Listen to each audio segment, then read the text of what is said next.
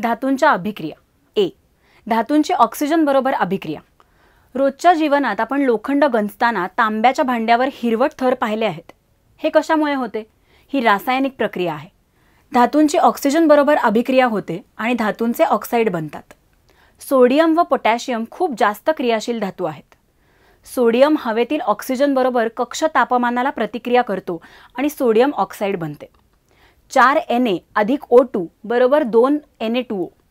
सोडियमचे चार अणू ऑक्सिजनच्या दोन अणूंबरोबर अभिक्रिया करतात आणि सोडियम ऑक्साईडचे दोन रेणू तयार होतात. हवेत उघडा ठेवल्यावर सोडियम धातू सहज पेट घेतो त्यामुळे अपघात टाळण्यासाठी तो केरोसिनमध्ये ठेवतात.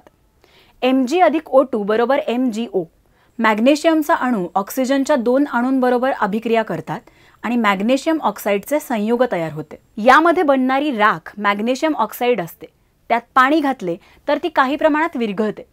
लिटमस कागदाने तपासले तर लाल लिटमस निळा होतो. यावरून समजते की धातूंचे ऑक्साईड हे अल्कधर्मी असतात. बी. धातूंची पाण्याबरोबर अभिक्रिया. जेव्हा धातूंची पाण्याबरोबर अभिक्रिया होते तेव्हा धातूंचे हायड्रॉक्साईड आणि हायड्रोजन वायू बनतात. अभिक्रियेची तीव्रता रासायनिक क्रियेवर अवलंबून असते. काही धातू थंड पाण्याबरोबर सुद्धा अभिक्रिया करतात काही गरम पाण्याबरोबर अभिक्रिया करतात. काही धातू वाफेबरोबर सुद्धा अभिक्रिया करतात आणि काही धातू जसे चांदी सोने इतके अक्रियाशील असतात की पाणी किंवा वाफेबरोबर अभिक्रिया करत नाहीत.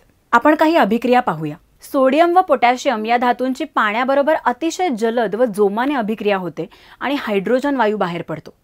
दोन एन ए अधिक दोन एच टू ओ बरोबर दोन एन ए ओ एच अधिक एच टू अधिक हीट सोडियमचे दोन अणू पाण्याच्या दोन रेणूंबरोबर अभिक्रिया करतात आणि दोन सोडियम हायड्रॉक्साईड व एक हायड्रोजनचा रेणू तयार होतो आणि उष्णता बाहेर पडते. दोन के अधिक एच टू ओ बरोबर दोन के ओ एच अधिक एच टू पोटॅशियमचे दोन अणू पाण्याच्या संयुगाबरोबर अभिक्रिया करतात आणि पोटॅशियम हायड्रॉक्साईडचे दोन रेणू व हायड्रोजन वायू बाहेर पडतो. दोन सी ए अधिक दोन एच टू ओ बरोबर दोन C A O H two plus H two कॅल्शियमचे दोन अणू पाण्याच्या दोन अणूंबरोबर प्रतिक्रिया करतात आणि दोन कॅल्शियम हायड्रॉक्साईडचे दोन रेणू व हायड्रोजन वायू बाहेर पडतो. ॲल्युमिनियम लोखंड आणि जस्त या धातूंची थंड किंवा गरम पाण्याबरोबर अभिक्रिया होत नाही. परंतु वाफेशी मात्र त्यांची अभिक्रिया होते आणि ऑक्साईड तयार होतात. यामध्ये हायड्रोजन वायू मुक्त होतो. टू ए एल बरोबर थ्री एच टू ओ बरोबर A L two O three अधिक तीन एच टू ओ ॲल्युमिनियमचे दोन अणू वाफेच्या तीन अणूंबरोबर अभिक्रिया करतात आणि ॲल्युमिनियम ऑक्साईड व हायड्रोजन तयार होतो. तीन एफ ई अधिक चार एच टू ओ बरोबर F E three O four अधिक चार H two F E three O four is ferrosoferric oxide F E O F E two O three लोहाचे तीन अणू पाण्याच्या चार अणूंबरोबर अभिक्रिया करतात आणि फेरोस्फेरिक ऑक्साईड व हायड्रोजन तयार होतो. झेड एन अधिक एच टू ओ बरोबर झेड एन ओ अधिक एच टू जस्ताचा एक अणू पाण्याबरोबर अभिक्रिया करतो आणि झिंक ऑक्साईड व हायड्रोजन तयार होतो.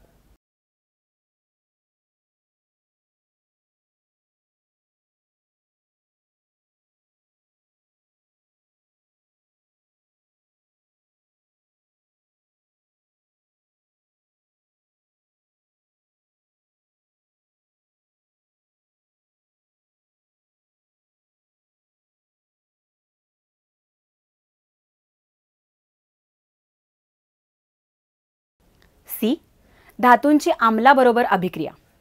बहुतेक सर्व धातू विरल आम्लाबरोबर अभिक्रिया करतात क्षार व हायड्रोजन वायू बनतात. धातूच्या क्रियाशीलतेप्रमाणे काही धातू विरल आम्लाबरोबर जोमाने आणि काही धातू विरल आम्ल गरम केल्यावर अभिक्रिया करतात. ॲल्युमिनियम मॅग्नेशियम लोखंड व जस्त यांच्या नमुन्यांची अभिक्रिया विरल सल्फ्युरिक किंवा हायड्रोक्लोरिक आम्लाबरोबर घडवून आणली तर धातूंचे सल्फेट किंवा क्लोराईड क्षार मिळतात. या प्रयोगात जळती काडी परीक्षा नळीच्या तोंडाशी धरली तर पॉप असा आवाज येतो. यावरून समजते की तो हायड्रोजन वायू आहे. धातूंच्या आम्लाबरोबर अभिक्रियांचे तुमच्या रोजच्या जीवनात महत्त्व असते. सायट्रस फळांचे रस लोणची दही इत्यादी अन्नपदार्थांमध्ये आम्ल असते. जेव्हा असे पदार्थ लोखंडी ॲल्युमिनियम किंवा तांब्याच्या भांड्यात ठेवले जातात तेव्हा त्यांच्यातील आम्ल धातूबरोबर अभिक्रिया करते आणि विषारी क्षार तयार होतात जे आपल्याला हानिकारक असतात. डी. धातूंची नायट्रिक आम्लाबरोबर अभिक्रिया होऊन धातूंचे नायट्रेट क्षार तयार होतात.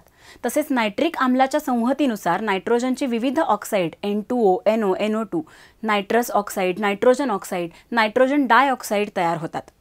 सी यू अधिक चार एच एन ओ थ्री बरोबर C U N O three two अधिक टू एन ओ टू अधिक two H two O concentrated copper nitrate कॉपरची तीव्र नायट्रिक आम्लाबरोबर अभिक्रिया होऊन कॉपर नायट्रेट दोन रेणू नायट्रोजन डायऑक्साईड व पाणी तयार होते. थ्री सी यू अधिक आठ एच एन ओ थ्री बरोबर C U N O three two अधिक दोन एन ओ अधिक चार एच टू ओ डायल्यूट कॉपरची तीव्र नायट्रिक आम्लाबरोबर अभिक्रिया होऊन कॉपर नायट्रेट दोन रेणू नायट्रोजन ऑक्साईड व पाणी तयार होते. आम्लराज ॲक्वारेजिया आम्लराज हे संहत हायड्रोक्लोरिक आम्ल आणि संहत नायट्रिक आम्ल तिनास एक प्रमाणात घेऊन त्यापासून ताजे मिश्रण तयार केले जाते. हा केशरी पिवळा धूर टाकणारा अतिशय क्षरणकारी तसेच वाफाळणारा द्रव आहे. आम्लराज सोने व प्लॅटिनम या राजधातूंना विरघळवू शकतो.